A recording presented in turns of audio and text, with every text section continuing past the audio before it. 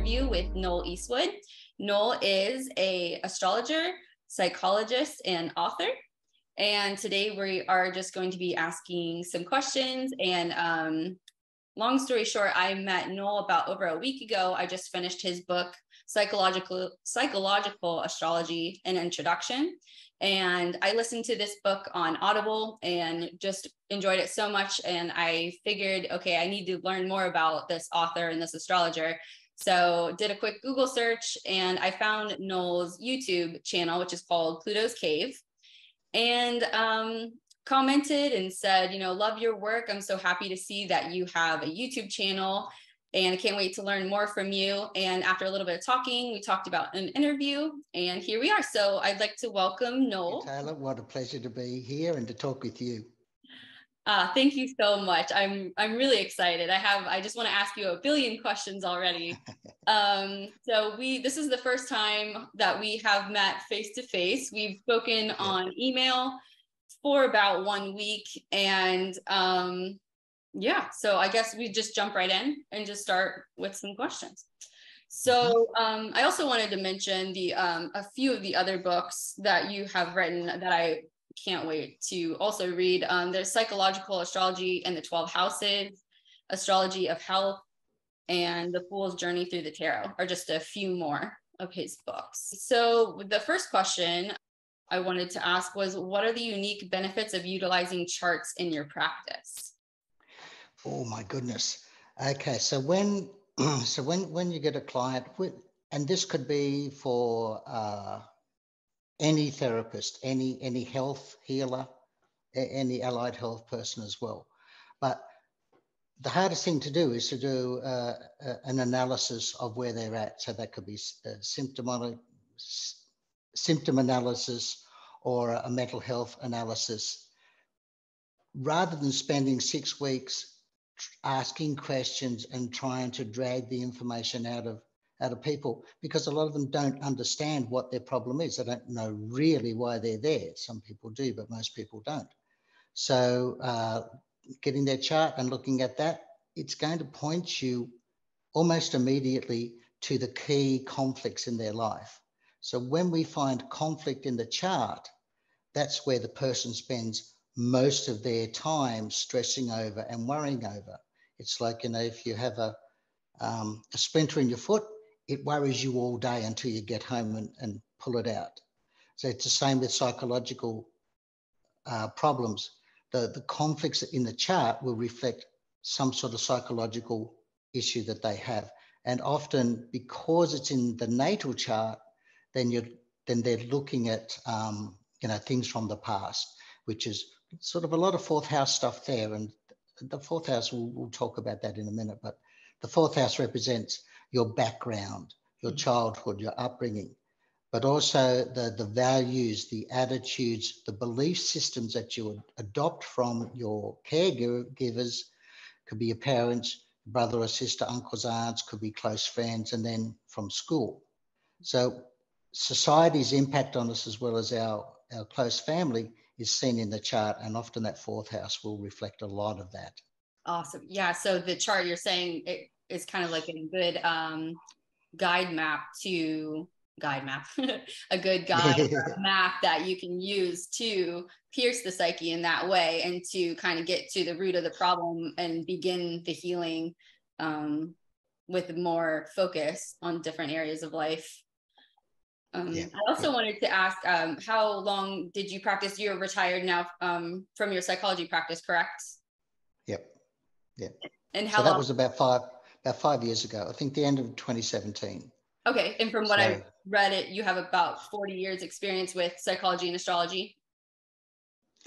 Yeah, so things really started back in probably 1980 when I started doing Tai Chi and uh, started teaching, but what happened with the Tai Chi is that I started having weird experiences. I out of body and it just sort of went from there. So what happened is that um, I started teaching Tai Chi, started taking private clients for Tai Chi and meditation.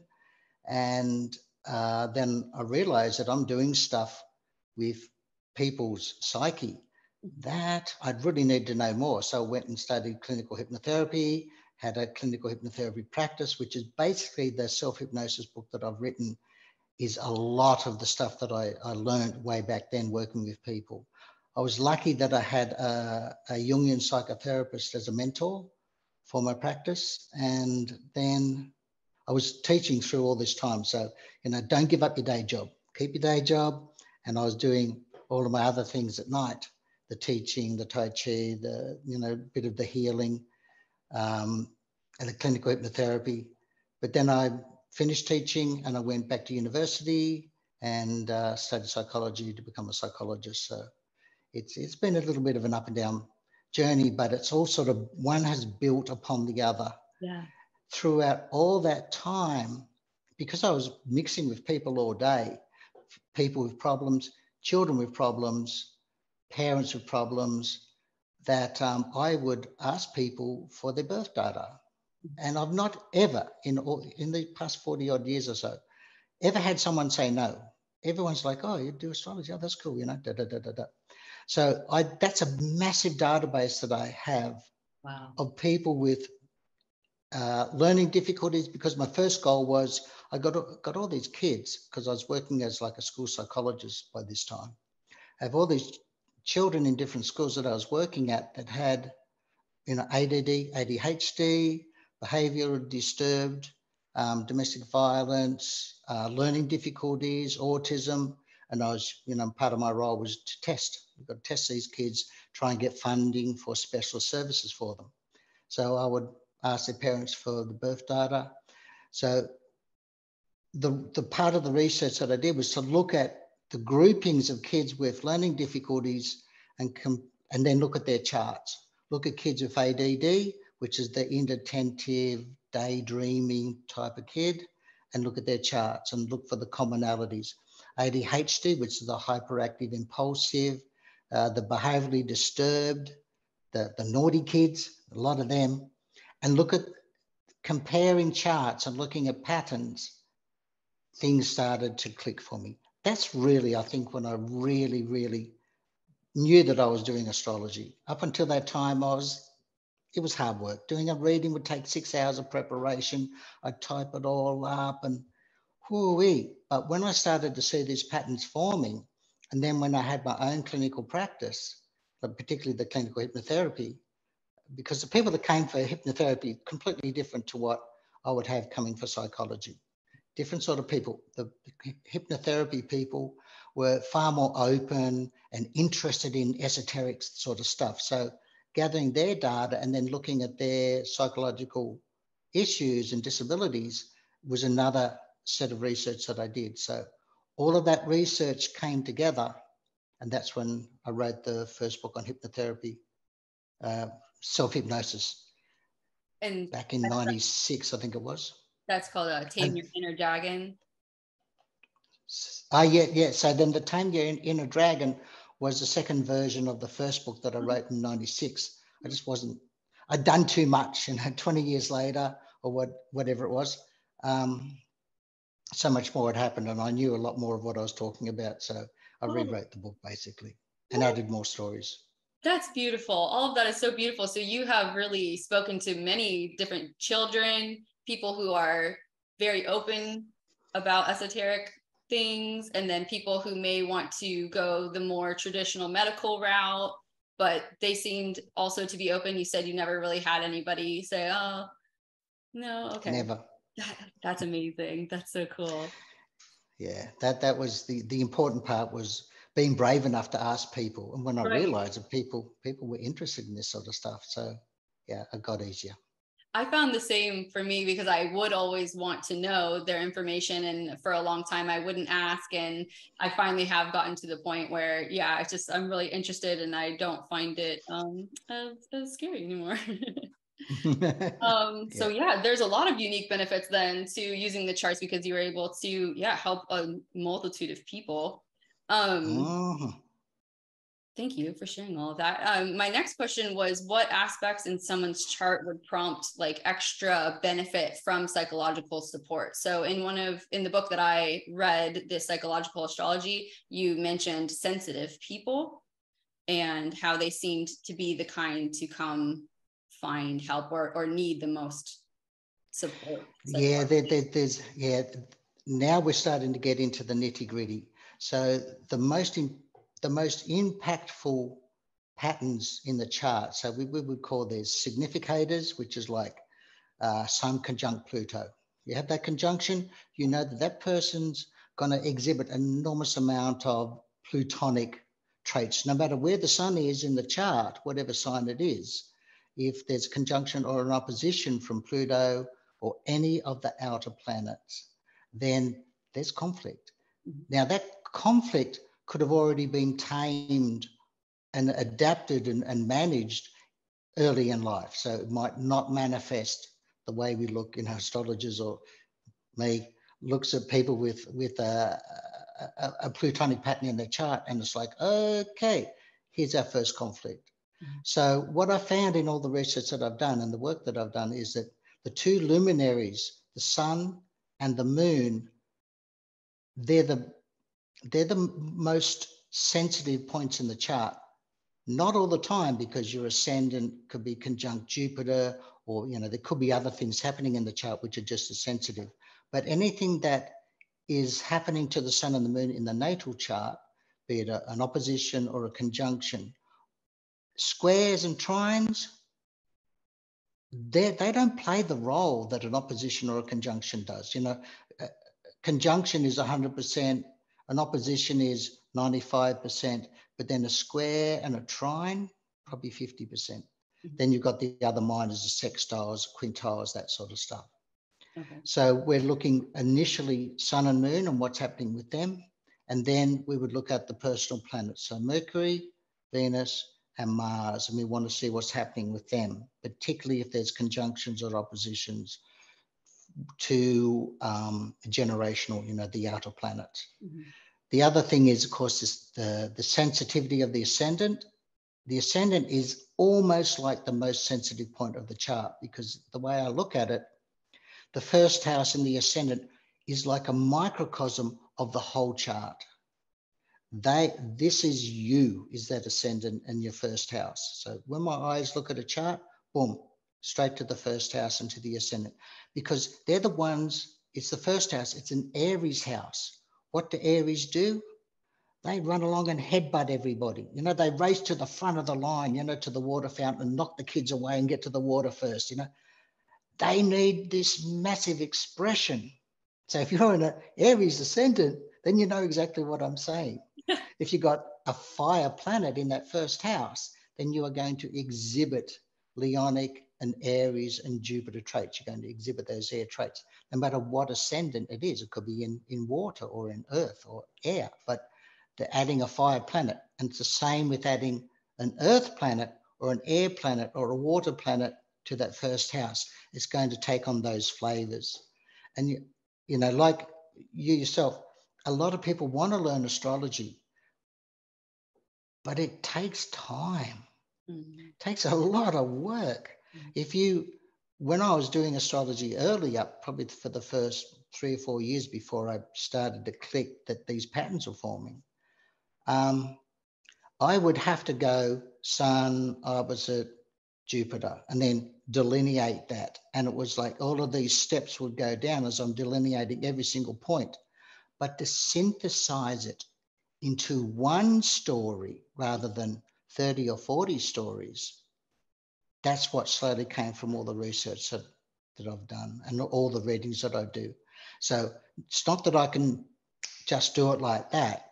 Mm-hmm sometimes a chart is really easy to, to read, which reflects a person.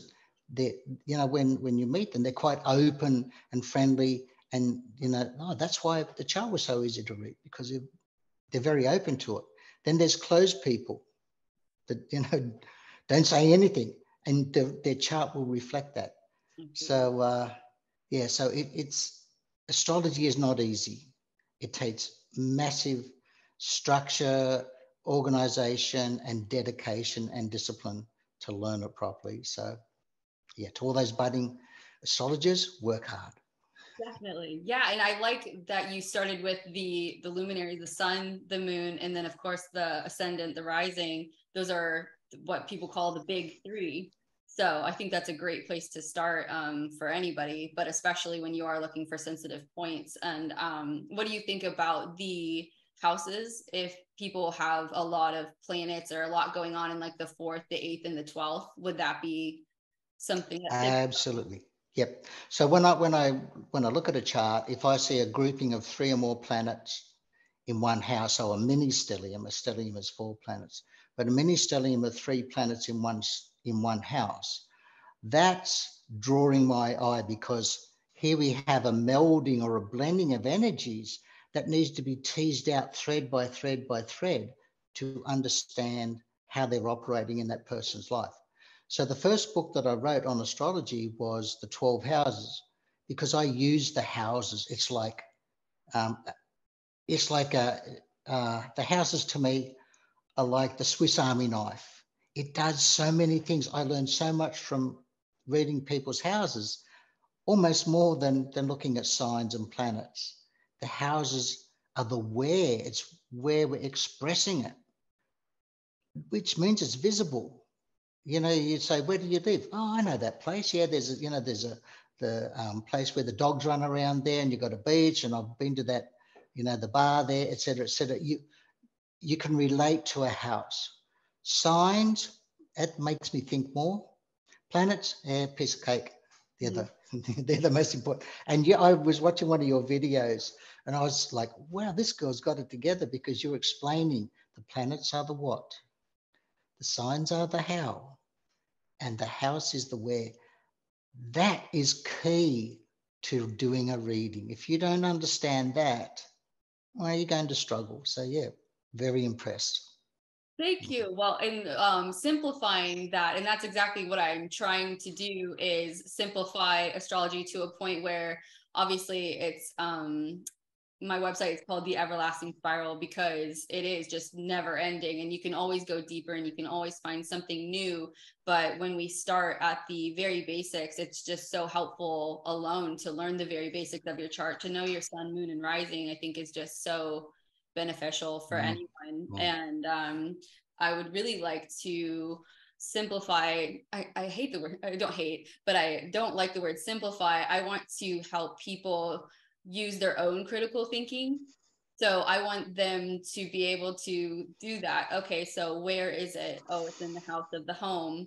What what's going on? Mars. Oh, Mars is known for conflict or disruption or taking action. And then what sign is it in? How is this expressing itself? And I think um, I would love people to have more confidence in um, in their own ability to interpret these things because they are everyone is able to make an interpretation, whether they've been studying for a few weeks or many years. I think if we just um, were to simplify it more, it would be so much more helpful to the public and, mm. and um, not not keeping all of this information and uh, you know i just um, i would love for it to for everyone to see how useful it is and that they are able to understand it just by making their own interpretations with just the little bits of information that we can um, help explain and provide for them.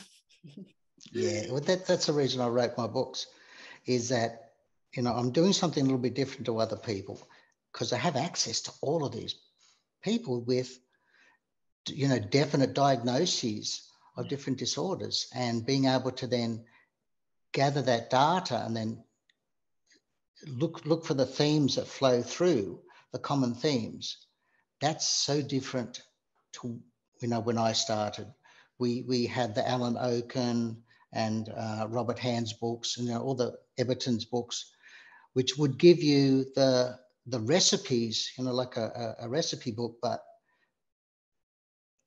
astrology needs more than that.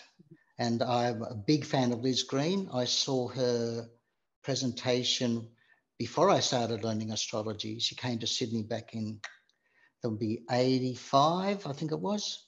And uh, of course, I didn't understand a word she was saying. I didn't know much about astrology back in those days. But, you know, thinking back, that was probably the turning point because it was the, that night was the night I made the decision. That's it. I'm, I'm studying astrology. Wow. Yeah. Yes, I love Liz Greene. Um, I've read a couple of her mm. um, I think like uh, astrology for lovers, which I feel like the title does not do that book justice. It, um, I know it's a dumb, dumb title because yeah, it's such a juicy book. It is. It was so good, and I'm I'm halfway through Saturn. I had to I had to take a break from Saturn yeah. because that one got a little intense for me. Um, but yeah, I love the way she simplifies things as well and makes it mm. um, just so. And that's how I felt about your books when I was listening to the Audible. I felt like I was talking to a friend and like you were just explaining things to me in such simple terms. And I've been studying for a little over two years now, and I would say that I definitely do have a better handle on it than I did say a year ago. So that definitely helped when it came to listening to your book. But I think almost anybody um, would also benefit from even starting there because the way you explain things, yeah, you put it in such a way it's so easy to understand. Oh, thank you. Yeah. Yeah, I tried to make, I wanted to write an introductory book, but I didn't want it to be like a recipe book. I wanted to make it interesting so that there would be chapters uh, that, that introduced new material that people wouldn't normally consider as introductory, like um, you know uh, Harold Shipman, yeah. Uh, the the, mur- the the the doctor that killed his patients. Mm-hmm. Um, I, I, was so interested in looking at psychopaths because a lot of my psychology clients worked in uh, a work environment where there were psychopathic type managers that bullied them. You know, we, we look at psychopaths uh, like Gacy and Bundy and that sort of stuff, well, they kill people in horrible ways, but we have psychopaths with exactly the same traits lack of empathy, narcissistic bullies in the workplace that they don't quite kill you, but they make your life a living hell. So I was seeing a lot of them. So I wanted to know so that's why I got onto that one and put that in as a chapter to, to yeah. show those sort of things. That example was definitely that was amazing to listen to, and um, I did I loved how you would say, okay, now this aspect does give this feeling, but it does not prove exactly. But then you went to build upon that, which I loved because, yeah, you built upon your own data and your interpretation, mm. and it all made so much sense. And yeah, having that example is always super interesting. Um, that kind of brings me to my next question, which what what are some common transits that would like spur someone to seek counseling or turn inward or look for answers? Well, that's actually that's really important because I've looked at that many, many, many, many times over the past 30 odd years that um, people don't come for counseling or for an astrology reading for that matter, unless there's something happening in their life. And when you look at their chart, the most common things are an outer planet like Saturn, Chiron, and Pluto. Sometimes Neptune, not often Jupiter or Uranus, but Saturn, Chiron, and Pluto are the big ones. And that could be probably more common is a conjunction with the ascendant. So they're crossing the ascendant, coming from the 12th house into the first house and wherever the ascendant is in the first house. That's a big, massive hit, which is I've got Pluto sitting on my ascendant exact now, and it has changed my life. Mind you, I've watched it for 20 years, terrified of the day when Pluto would come rolling over me like a steamroller, because I've seen so many people that the Pluto transit to the ascendant, to the moon, or to the sun, they're the biggies.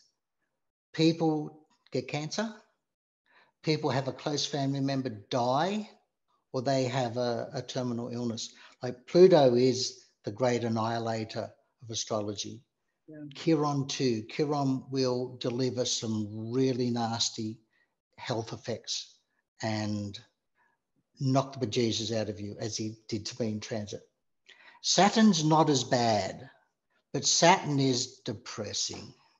It's like someone sucked all the juice out of you and you're just flat, no energy. And Saturn is also a lump of concrete. Like it's really hard to move a lump of concrete. So your life is just standing still, nothing's happening. And like for you and I, we're we're Leos. We're like, this is terrifying. Nothing's happening. and There's no adventure. There's no excitement. All of those dreams and goals I've got for you know next week, next month, I'm not fulfilling all the little things that I wanted to do. So those those three outer planets are the biggies. North node will sometimes chime in because a, uh, a north node, the north node for me is like a compass.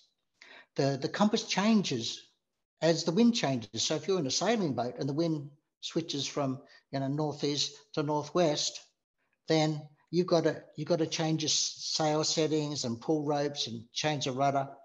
That's what the compass does. That's what the north node does. It adapts to where it is in the chart. So it could be in your sixth house, conjuncting Mercury or whatever. Then you know that that person is going through a change of values, beliefs, and attitudes, and things are happening in their life that they're probably not even conscious of.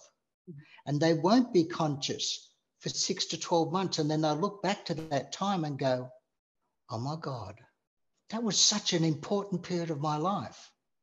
So that will sometimes happen at the same time that Pluto, Chiron, or Saturn, um, you know, knocking the daylights out of that person.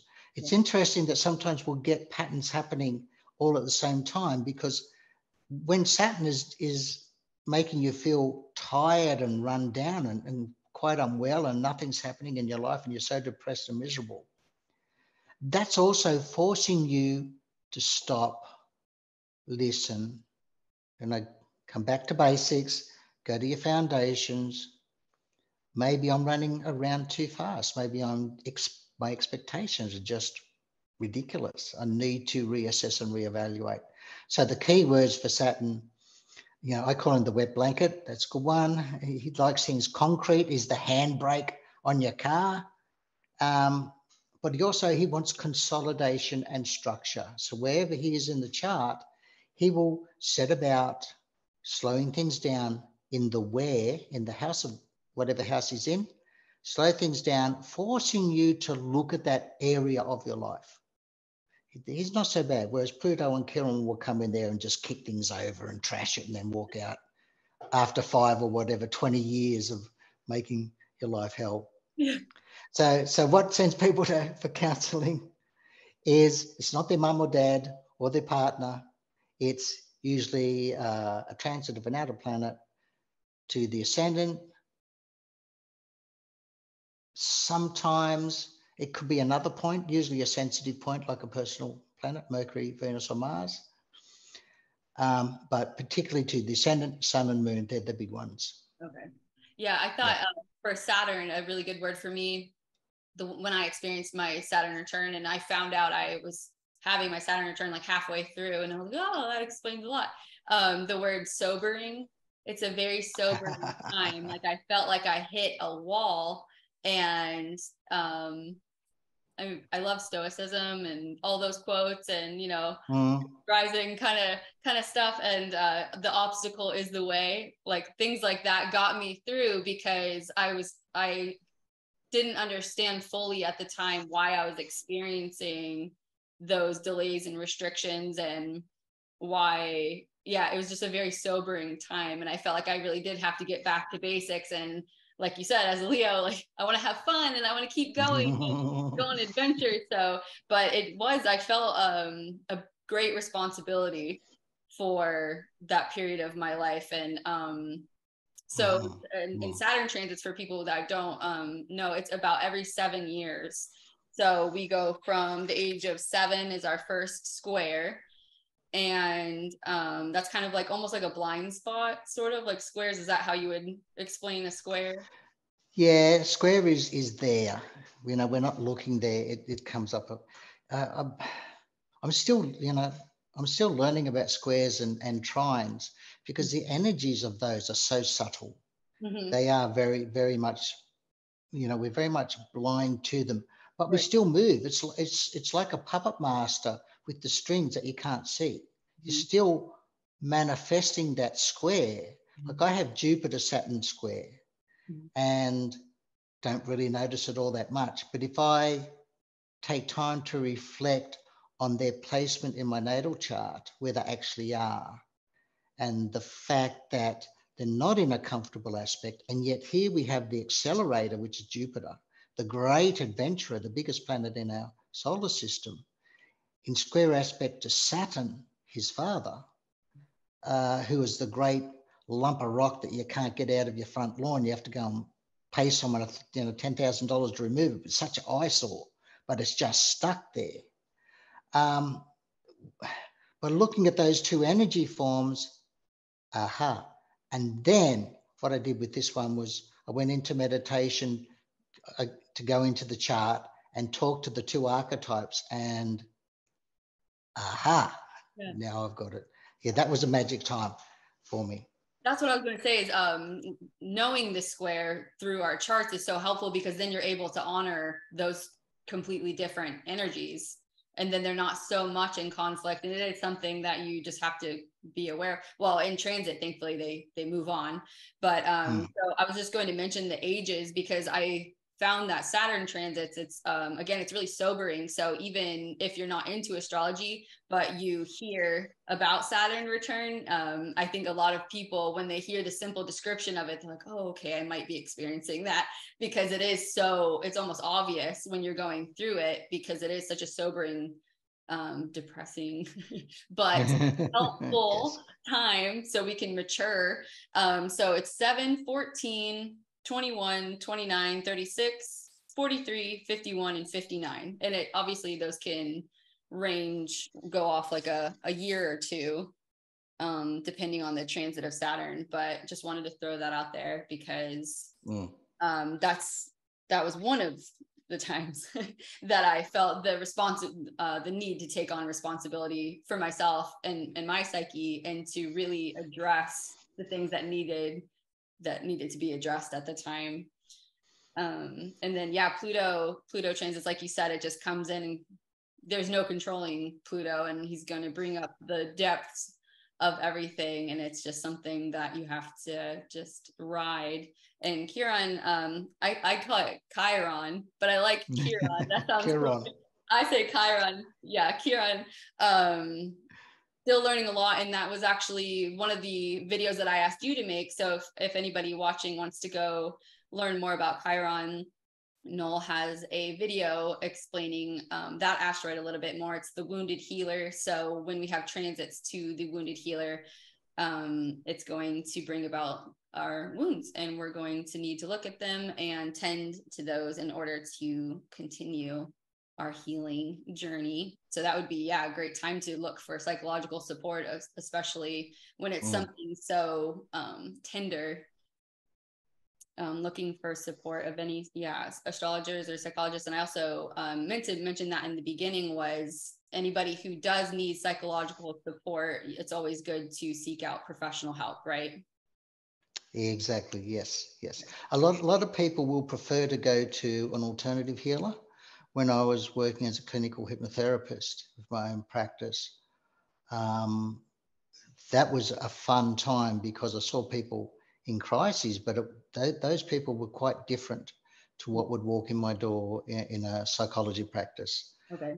Uh, it, it, was it was a much better time in psychology. You're restricted by uh, rules and regulations, and um, you know, you can't do astrology, you can't do tarot reading. Whereas as a clinical hypnotherapist or an alternative healer, you can do all sorts of weird things. Yeah. and you know, uh, doing past life therapy with people, and uh, doing readings, taking them on journeys, uh, you know, working with the archetypes. It was good fun.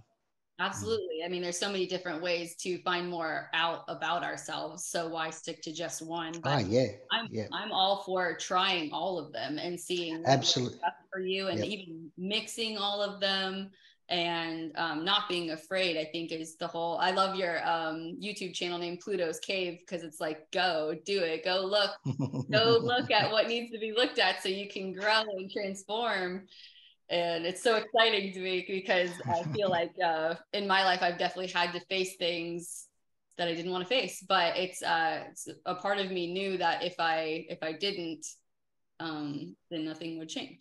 So exactly, um, yeah, yeah. So we talked about the transits. Um, what might it look like in somebody's chart if they're extra sensitive? Um, let's see. Uh, one of my questions is what are some aspects in a person's chart that signifies how willing or unwilling they are to look within or uh, this is this is a good that's a really good question. Um, the people that came to me for counseling if so, some people would come to counseling because their wife or husband sent them mm-hmm. or their mother or father sent them. So they're not there willingly. And if you look at their chart it's like you know there's not much chance that they'll be here for very long. Um, but those people that wanted, that want, the want therapy, that need therapy, uh, there'll be indicators, significators in the charts to show that. So, um, you know, the the ones that don't hang around, that lack insight or don't want insight, hate to say this, Sagittarians, but Sagittarius people, people with a strong Jupiter or a strong ninth house, they tend to know everything. Oh. Uh, like, oh, you know, I know how, you know, I don't need your advice because I know everything anyway. They're the hardest ones, but they're happy to have a conversation and they will tell you. they won't have a conversation with you. They're the ones that'll be talking at you. So, of, of all, they're the hardest. Like Gemini, not a problem. Mm. Geminis are great they, they, their mind is different to mine. I, I have so little air in my chart that when I see a Gemini, it's like, oh, this is like a different creature, like an alien, someone that has a brain that works different to mine. Mm-hmm. Um, they're, they're fine. The other signs are fine. Maybe strong Libra. And when I say strong, it's like a dominance in Libra. So the, the sun could be in Aries, the moon could be somewhere else. But if there's a dominance of more than three things happening in, in Libra, then it's like that starts to dominate the chart. Like for me, I have a dominance, like I got Jupiter, Venus, Mars, Sun, and Pluto conjunct in Leo in the eighth house. So I'm dominant in Leo, but I'm also dominant in the eighth house. So that means that when I have to tease out all of these energies, I'm, I'm going to see that my foundations are basically Leo and Scorpio. I just can't help it. You know, I'm a sensitive person. Just ask my wife. um, you know, easily hurt, but then yeah, Leos are easily hurt too. The, the hardest thing for a Leo to copy is criticism. Oh, I give so much. Leos represent the sun, they shine for everybody. And they're really happy when other people smile back and re, you know, enjoy what we're doing for them. And when someone doesn't enjoy it or puts us down or criticizes us, you know, we crawl off to our hole and we hide there until we until we heal our heart and come back again. It's like we wear the heart, our hearts on our sleeves. We're very vulnerable. We open up our heart to people we probably shouldn't sometimes, and yeah, we're, we're easily hurt. Absolutely. Let's see. Do you think clients find it more soothing or comforting to explore their charts alongside a professional rather than on their own? Um, Depends on the person, huh? I, I think that, yeah, that's a hard one. Like, you know, you and I, when we were little, we went to the library and got all the books on on ghosts and reincarnation and astrology, which is what I did. I think it was probably 16, 17, 18. I'd go to the local uh, town libraries and get out all those books. And you know, I, I, would create charts and and numerology patterns and that sort of stuff. And I didn't know what I was doing, but the hunger was there. Mm. And yeah, so you know, the the interest comes from way back. Did I answer your question? Well, I was asking, who do you, um, when it's, do you think it's more comforting to learn alongside someone? I know I, um, I, like in a class. In a class or with, uh, with an astrologer or with a psychologist who does astrology, do you think, um, that that would be something that we should, as a community, maybe support more? Is like oh, doing absolutely yes, rather than being, yeah. being our own yeah, if you're trying trying to learn it yourself, there's so many pitfalls and you know and, you know the internet is absolutely magic but there's so many people that post absolute rubbish on there particularly about the new age and esoteric stuff. It's you know it is just way too much. So you you need a mentor really. You need someone that's experienced and knows what they're doing to say well you know that might happen in this particular way but you know let's look at all the other ways. Mm-hmm. uh, I, think yeah mentorship learning in a class with a you know with a qualified teacher that sort of thing is if you want to be a professional which i think a lot of people do when they start studying astrology then you really need to find the best teacher for you. Find someone that empowers you that you can learn. You can contact them at any time and get some feedback. I, that's a and really, have, yeah, and I think also not being afraid to learn from different mentors as well, and not just stick mm. with the one because I I've seen that a lot too. And it is so it's I love the internet. I mean, that's how we met. Like we wouldn't have met without yeah. the internet. Um, but like you said, there's so much information, and it can be so overwhelming when you're googling your placements, and mm. some can be so depressing, and it doesn't even reflect that way in your chart. So yeah, definitely seek out different mentors and classes and find what fits for you and see what resonates with you. Again, like I just want people to trust themselves because it's already in there. You know, mm. the interpretations yeah. I feel are in there too. I think um, a lot of, I understand that, and I also support using our abilities um, to interpret the charts, like with our intuition. But I feel like if we don't give people the very basic information that's needed like how are they going to use their intuition if they don't know what something means and um, yeah. i'm all about using your intuition but i feel like if we were to provide um, clearer descriptions like the archetypes which i would love to do another talk with you just specifically about the archetypes because i feel like um, if and when i do teach my own course or mentor somebody i would actually start with the archetypes. And I don't know if that's the Leo Ooh, or the Aries in me. Excellent. I just I feel like if people understood the archetypes, then you would understand why Mars rules Aries. Mm, you know, I think exactly right. Characters and uh, it's like the the players in the play. Like if you understand who they are and how they act, then you'll the rest of it kind of comes together. So I don't know. I kind of went off on a thing. Yeah, yeah. let, let, me just add too that you know I do a lot of mentoring with um, with with professionals as well as people that uh, have other mentors. Like it could be a shaman, shamanic mentor, um, a tarot mentor, an astrology mentors, uh, hypnotherapy or psychology mentors as well.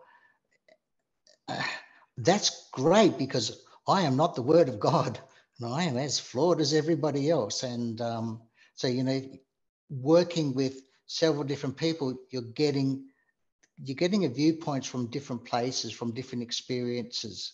So, you know, my experience is what I can deliver. That person's experiences are different, so they're going to deliver from a, a different place, and that's how we learn and helps us intuit and discriminate what is of value to me. Good point. Yeah, so I think that's great. Mm. Definitely. Um, and then I was going to ask, uh, did you teach your clients their chart when you asked them like for their information? Would you would you like give them reference points as to why you were like recommending a certain remedy or would you just go ahead and just use their chart to you know? so so when I'm working with someone and, I, and I've got their chart there, then it would be a case of looking at the chart, walking through it, and and, and discussing what those key conflicts are, and talking around it till we come up with uh, with where they come from. You know, we go back into that fourth house of upbringing often, and then we can go and do some psychotherapy there. Okay. So it's yeah combining combining your knowledge of the chart passing that backwards and forwards between you and the client and then developing a pathway forward with it we could you know we could use archetypes we could use hypnotherapy you know, do a lot of that. We could use, um, you know, all sorts of different talk therapies. Yeah, there's, there's so many different pathways there. Uh, inner child is what I do the most of that, what I used to do. Inner child. Inner child work. Mm. Well, and I was just going That's to ask magic. how, how beneficial is it for parents to understand their children's chart? I think that could be a whole nother topic. So we can just kind of comment on that. And then maybe that could be our next um, talk would be yeah. exploring your child's chart. Well, as a parent myself, if I had have known now what I, if I had have known back then when I had kids, what I know now, I'm sure things would have been a lot easier for all of us. Mm-hmm. But um, yeah, I've done a lot of readings for parents of newborns and parents with small children, and it's it's it, it's just opens up the view of who this this soul is, and I would thoroughly recommend it for anybody with children or prospective parents to make sure that they get someone to walk them through their child's chart because it's going to it'll point out the pitfalls of their health and their psychological development. It's it's all there in the chart, mm. and it's it's that is magic when you can do that. You become a magician. And I love that you point out the health and the psychological health. And then from my standpoint, I think as with my son in the fifth, I I want the parents or I don't want, I encourage parents to explore the child's birth chart because I want them to understand that they are an individual and that they're they are their own expression and that it is going to be different. Maybe some similarities but your child is not going to be a fitting image of you in every single way. And to honor them is just so um it takes i feel like it takes your relationship with them to such another depth um, to accept who they are and and also to guide them because if they do have these hidden troubles you know with the squares and stuff and they feel confused um, then you're you're able to guide them even even better. Yeah yeah like just knowing that um, if, if your child has a lot of fire then you can tell the parents that they got to drink a lot of water. You know simple things like that a lot of water a lot of fruit a lot of ice blocks particularly in summer when it's hot so just be mindful that when they go to bed you check on their temperature when they've fallen asleep and if they're they're roasting, you'd pull the doona off. So, you know, simple things like that, or, or, a child that is a lot of air and a lot of fire. They're going to be inspired about everything. They're going to be interested in everything. So make sure you got the books and you have the opportunities for them to learn. Eh, you know, get them a guitar or a keyboard or something. You know, um, karaoke so they can act out and you know re- yeah. reproduce all the songs from Frozen. so it's it's looking at the chart and then giving them ideas, and that makes a difference. Absolutely, such a huge difference. It's so funny because with my my son and I, we definitely have different energy levels, and we'll get together. He's also Leo, um, but but we do have so many differences, and he would. I'm the one saying go go go, and he would love to just hang at home. But so um, I will, I'll get frustrated because I'm like, you know, keep up, let's go. We got things to do. But then I remember, okay, he, we're not exactly alike. And I need to honor the way he's expressing himself and his needs, which is he does, he needs more rest than me. And, um, but we, we bounce off each other really well. We're a good team. I'm trying my best. I'm trying my best. Yeah, no, that that is brilliant. That's exactly what you need to do. I like you using the word honoring honoring the um the differences. It, it's also part when you're working with the archetypes or working with the planets. Each planet wants it wants to give to you the very best of what it's got. So, for instance, um, Mars is the little boy energy. It's it's a fun energy. It's a happy energy. But when it's when it's caught in a in a sign or a house or an aspect that makes it uncomfortable, then the happiness is not quite there. And so, you know, we have to respect that that Mars itself, in its purest form, is this raw, joyful, boyish energy that just makes you laugh and laugh and laugh because that's what they want to do.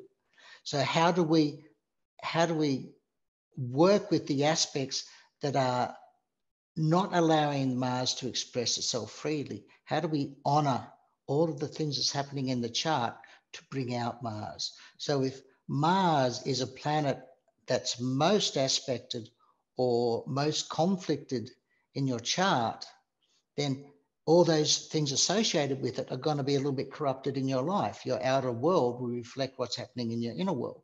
So when we work with him in therapy, we would identify Mars as eh, he's a bit of a important player in your chart or in your life, in your psyche. But how do we how do we strip away some of the hardship that he's surrounded with, allowing him to express himself? So that how do we honor the archetypes? So how do we honor the differences? How do we honor the planets, the signs, that sort of stuff? It's, it's a pretty cool way of expressing it. I like that. Yeah, I think definitely um, when we do talk again, I feel like children, uh, the topic of children and just expressing yourself in these individual ways would be a really great topic because I can tell we're both getting like really excited about that. yeah. we could talk forever about that. I think we've already been talking for almost a solid hour at this point. Um, so yeah, let's see. Was there anything that you wanted to share that I haven't asked you? Um, Let me think. I probably I keep coming back to people that want to learn astrology, but but they want to learn to do it properly. Like you know, we want we want the the skills that we have to not sort of become fossils. We want them to keep expanding. We want to get better and better and better. And it's just a matter of doing a lot of charts. Every person that you walk past, you know, every family member, the dog and cat do charts of everything. Just do the charts. And after a while, the, the patterns that I talk about, you'll start to see them. I, I see it like a tapestry. And in a tapestry, there'll be certain themes that flow through the tapestry. But when you turn it backside up, all you see are the loose ends and there's no pattern at all. That's most people's life is like that. There's no pattern to their life and they're confused.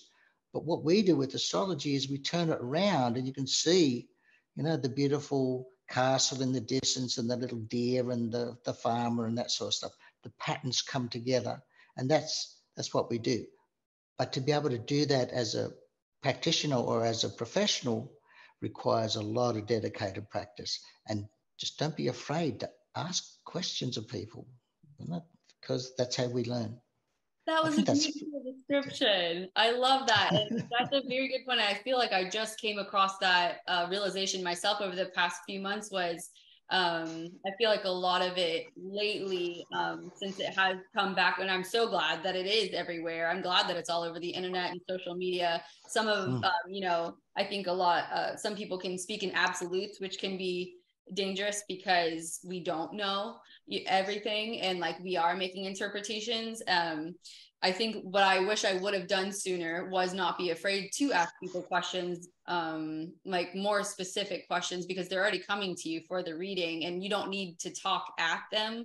And actually john green um the astrologer john green in an interview he mentioned how his is uh, a lot of his time with his clients is listening um and just he's asking like these the proper questions and it almost it draws out whatever they need to um, work through and yeah like you said don't be afraid to ask questions because then when you get those specific stories too that align with the pattern that you're looking at that's mm, like really one of those mm. aha moments like oh okay i get it now and that's yes. really helpful awesome well, maybe we'll stop here for today and um, yep. definitely meet up again when we can. Thank you so much. oh, my pleasure. This is great. I hope, uh, yeah, I can't wait to talk again. I think we have lots and lots to talk about. And um, yeah, we will talk again soon. Thank you, Taylor. This was so much fun.